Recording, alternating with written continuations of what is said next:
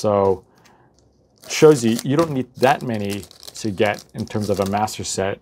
You just have to like sort of get more boxes if you want more secret. Oh, we got we got we, uh, uh, we got it. We got a double secret. So one of the boxes had a secret in it. And I think this is Lance, right? I think this one's so cool. I think this one is like probably not the trainer that I would want, but look how cool it looks.